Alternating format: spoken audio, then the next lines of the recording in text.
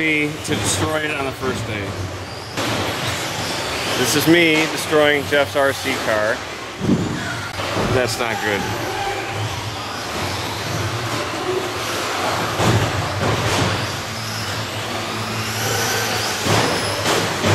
Apparently they don't build them so you can run full uh, full speed into barriers.